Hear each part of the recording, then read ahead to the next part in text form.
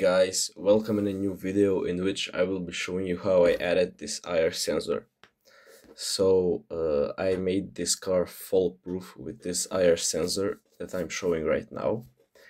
Uh, we are going to be placing it on the front of the uh, robotic car so that it senses the bottom and or a pit and it doesn't fall. Currently we are connecting the needed pins so ground VCC and uh, output. And the output is digital so it means 1 or 0 0 if uh, there is no uh, ground and 1 if it's on the ground. So currently I'm putting the three wires through the hole for the car and uh, getting them underneath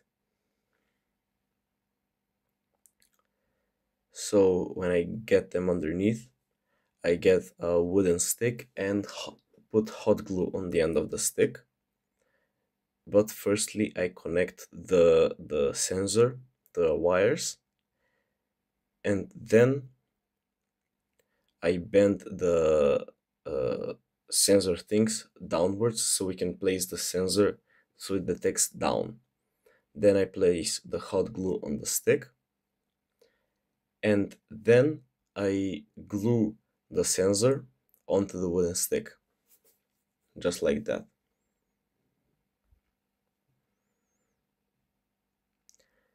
So waiting for it to stick and then placing it on the bottom.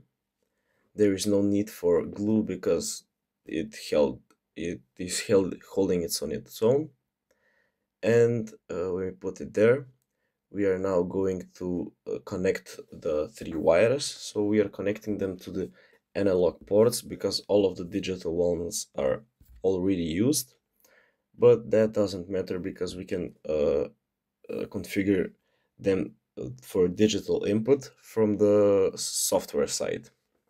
So connecting the USB-C to the Arduino Nano and now we are going to program it. So firstly deleting all of the previous code because I had an uh, ultrasonic sensor for the, for the bottom but that didn't work.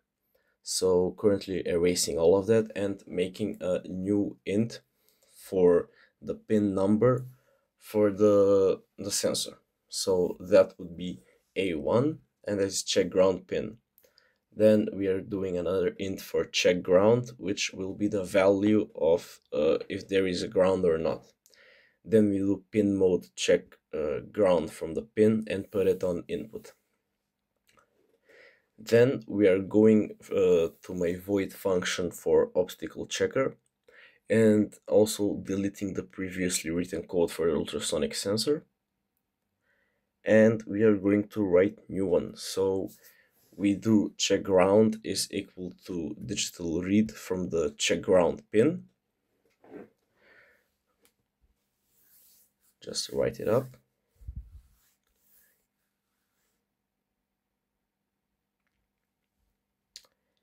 And that is basically all we need to do for the checking part. Just adding a comment for a future upload to GitHub and then we change for the serial print line uh, to the new value so check ground.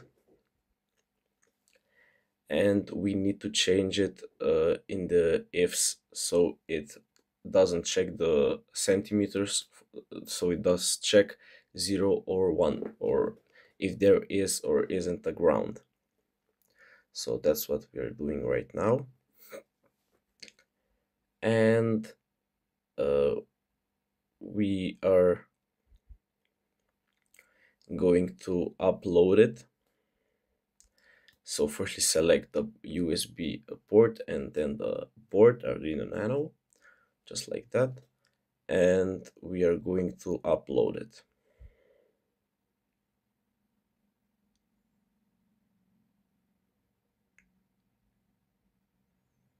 Waiting for it to compile and then it will upload.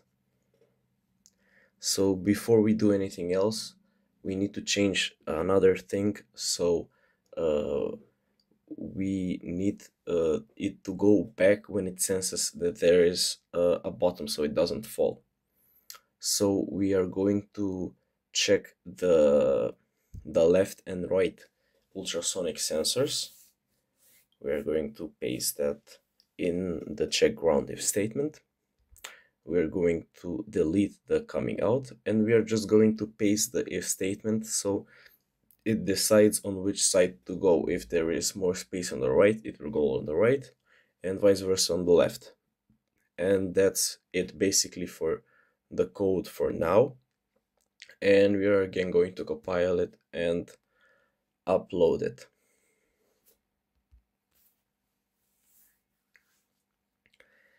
and now you see the car on the bottom right. And we are going to plug in a pin that is needed. No need to discuss that right now. And we are going to activate the automatic driving mode so no controller it's driving automatically.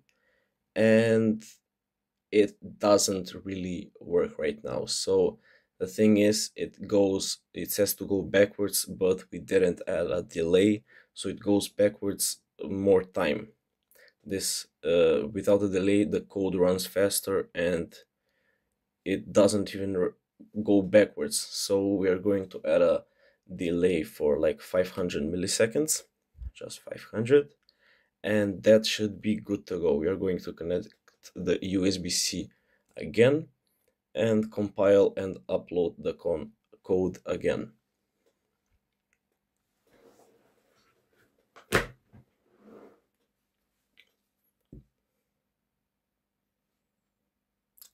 So seeing the car in full screen right now and we are going to remo remove the keyboard and put the car in the, into the automatic mode and let's see if it works.